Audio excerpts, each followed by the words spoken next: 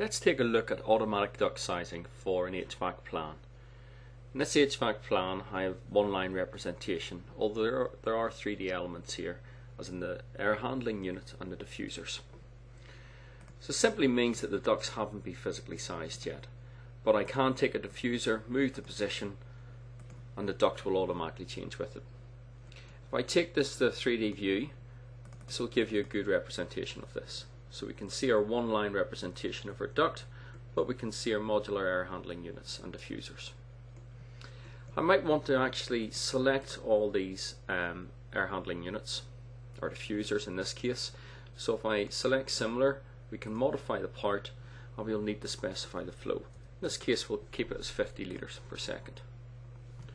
We'll need to select any other components that need the flow actually defined. So for this valve box we'll need to specify the flow, says an inlet of 1000 and an outlet of 1000 litres per second. This allows us to run the duct size. So I can select my first run and I can go calculate duct system sizes. This is medium pressure and it's automatically picked this up from the system definition but we can override this and say well the velocity we might determine is 6 meters per second and again we can change the friction. We can specify the duct sizing it's going to be rectangular, round or oval and we can also specify what maximum size it can reach and for larger sizes we can decide whether we still want to continue with rectangular or keep it as oval. I'm happy that I've overridden the velocity so I'm going to simply hit start. If it runs into any connection difficulties it will actually prompt me so it's pr prompting me at this stage um, to specify my air handling unit where it starts from.